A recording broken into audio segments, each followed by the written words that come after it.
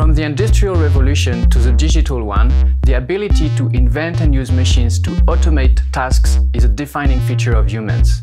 In recent years, artificial intelligence has been successful at automating a growing number of complex tasks in ways that routinely outperform humans. But can machines help us be creative or create by themselves for us? Welcome to Generative Arts and Computational Creativity. My name is Philippe Pasquier and I am an Associate Professor at the School of Interactive Arts and Technology at Simon Fraser University in Vancouver, Canada. In this class, we will learn the theory and practice of generative art and computational creativity. On the technical side, we will study core techniques from mathematics, artificial intelligence and artificial life that are used by artists, designers and musicians across the creative industry.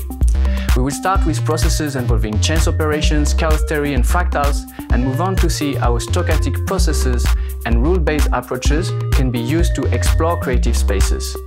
We will study agents and multi-agent systems and delve into cellular automata and virtual ecosystems to exploit their potential to create novel and valuable artifacts and aesthetic experiences.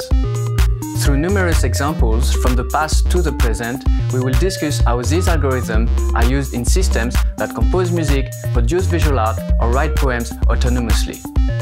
On the practical side, with the assignments and projects, we will get to experiment with some of these algorithms firsthand and develop new generative artworks. This class is designed to give artists, designers and musicians access to a clear and accessible description of powerful generative algorithms.